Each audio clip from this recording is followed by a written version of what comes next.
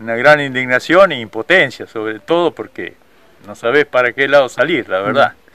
Llegaste hoy y te diste cuenta que te habían robado qué? No, ayer, a, Ayer. a mediodía.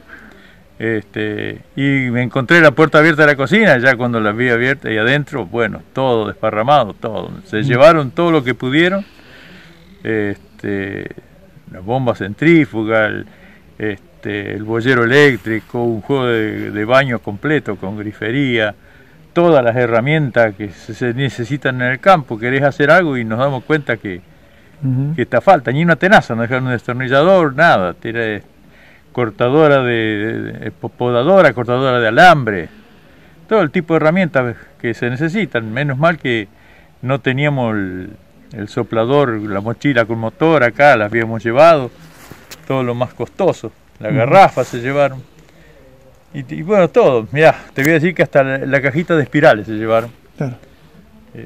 todo lo que, lo que les fue útil se lo llevaron. ¿Había- ¿Te había pasado alguna vez, te había tocado en todos estos años? No, no, hace muchos años, pero porque había una, una ventana que cerraba mal y no tenía nada adentro. Entraron, pero no tenía nada. En esta oportunidad barretearon una puerta. Sí, a- abrieron una ventana y de ahí sacaron todo lo que pudieron. La- el peor daño es que cortaron cuatro alambrados nuevos que hemos hecho. Eso, reparar todo es un trabajo.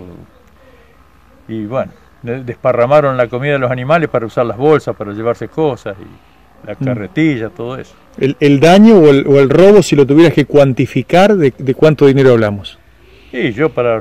es difícil estimar, pero yo supongo que unos 100 mil pesos para reponer todo lo que teníamos. Ujú. ¿E- ¿El campo dónde está? ¿En San Carlos Norte o en San Carlos Centro? No, San Carlos Centro. San Carlos Centro, El distrito de San Carlos Centro hasta acá, hasta 800 metros. claro.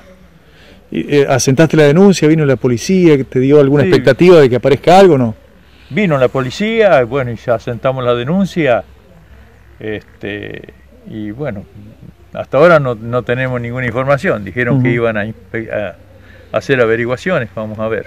No, no tengo mucha ilusión en ese aspecto, no. Es bueno, si alguien le ofrecen este tipo de herramientas que te robaron, por favor que se comuniquen con vos o con la policía, por Sí, supuesto. Sí, por supuesto. ¿eh? O conmigo, es posiblemente eh, difundiendo esto, por ahí hay gente que, que se entera o en las redes sociales que las ofrecen. Este, y bueno, que me avisen inmediatamente si me hacen el favor. Claro. Eso agradecería. Aparentemente no ingresaron por un camino central que está cerca de tu vivienda. No, no, no, entraron por detrás del campo. Claro. Este, un camino privado es el que va hasta el campo que de la familia Clos y entraron por allá.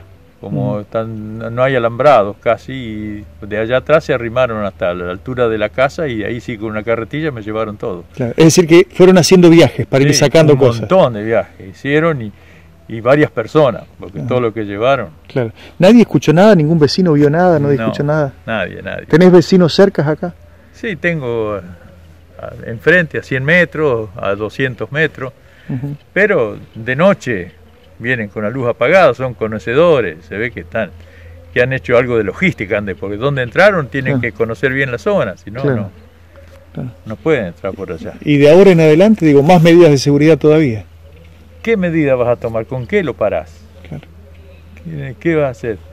Poner un candado, el candado te lo barretean y no, no, encontramos, lo estamos pensando, pero no sabemos qué hacer. Claro. Eh, la alarma, cuando llegás ya no, no están más y así que no sé, vamos a, a ver, a analizar un poco.